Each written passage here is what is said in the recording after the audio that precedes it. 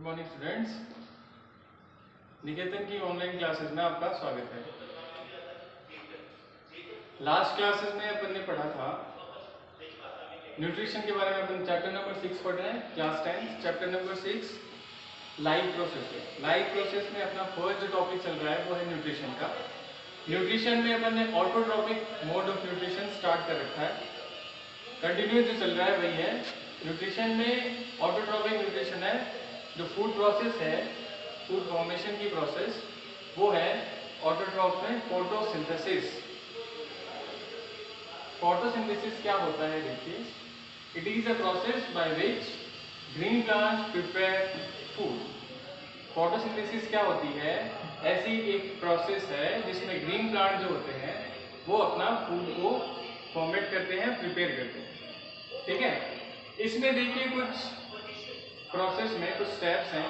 वो क्या है? देखिए सबसे पहला स्टेप जो होता है, वो क्या होता है कि जो सोलर एनर्जी होती है सॉरी वो कन्वर्ट हो जाती है केमिकल एनर्जी में।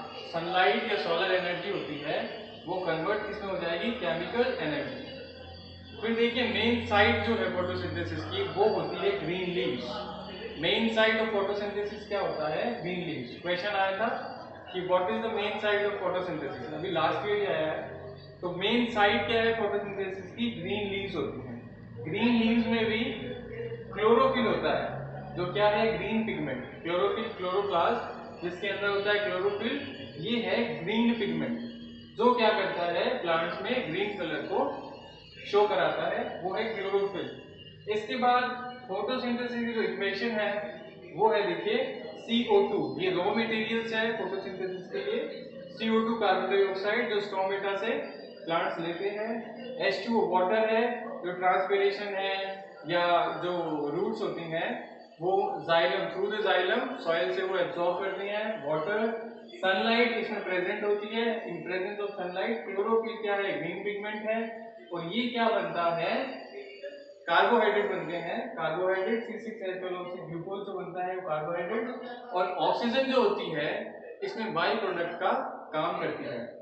ठीक है? तो इसमें क्या है? मेन सोलर एनर्जी जो है, वो कन्वर्ट हो जाएगी केमिकल एनर्जी में मेन साइट ऑफ़ फोटोसिंथेसिस क्या होती है? ग्रीन लीव्स ग्रीन लीव्स में क्लोरोफिल होता है, जो ग्रीन पिगमेंट होता है। इसकी वजह से ये सोलर एनर्जी को ट्रैप करता है। इक्वेशन क्या है इसकी? CO2 देखिए कार्बन डाइऑक्साइड कहाँ से मिलेगा? रॉ मटेरियल है ये फोटोसिंथेसिस है CO2 है H2O है, और ऑक्सीजन है वाटर है, ये रॉ मटेरियल होते हैं। तो CO2 कहाँ से मिल जाएगा? थ्रू द स्टोमेटा एटमॉस्फेयर में या जो सराउंडिंग सेल्स होती है उससे H2O वाटर जो है वो ट्रांसपोर्टेशन जैसे जाइलम जो होता है वो थ्रू द सॉइल ये एब्जॉर्ब करता है फिर बनता है कार्बोहाइड्रेट और ऑक्सीजन जो होती है वो फोटोसिंथेसिस की बाई प्रोडक्ट होती है। स्टेप्स पढ़े स्टेप्स के बाद में देखिए रॉ मटेरियल्स क्या होते हैं फोटोसिंथेसिस में?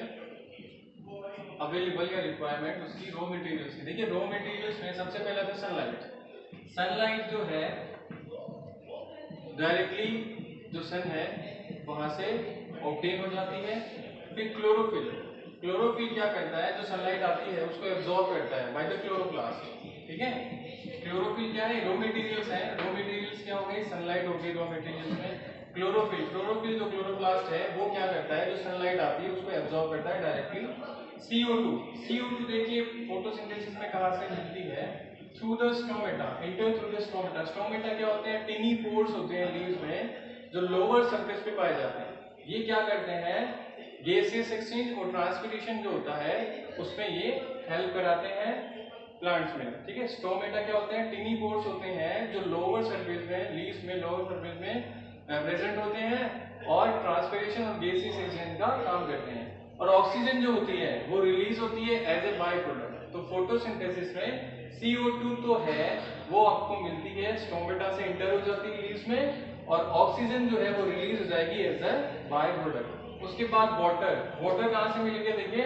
Water are taken up the roots from the soil soil आपने पढ़ा है, आपने पहले भी पढ़ लिया है कि जाइलम और फ्लोएम जाइलम एंड फ्लोएम